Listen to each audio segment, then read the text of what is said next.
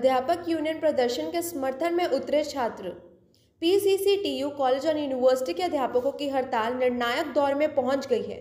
College के विद्यार्थी भी अब टीचर्स यूनियन के समर्थन में उतर आए हैं। कॉलेज छात्र चाहते हैं कि सरकार तुरंत फैसला ले और इस हड़ताल को समाप्त करवाए। उन्होंने कहा कि हमारी पढ़ाई का नुकसान हो रहा है।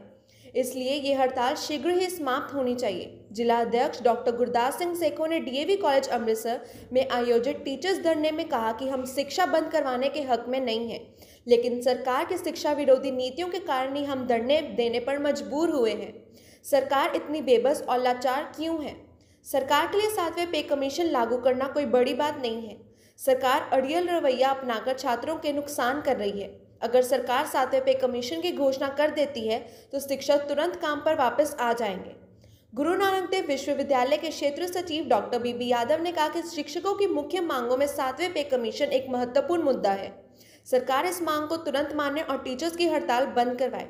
उन्होंने प्रिंसिपल फेडरेशन और college principal doctor Rajesh Kumar का भी आभार व्यक्त किया, जिन्होंने शिक्षकों के संघर्ष का समर्थन किया है। डीएवी कॉलेज में doctor Rajni Khanna, doctor Neeru Gupta, doctor Neeraj Gupta, doctor Kamal Kishore, doctor Jeevan Jyoti ने आज भूख हड़ताल पर बैठकर अपने अध्यापकों साथियों का समर्थन किया।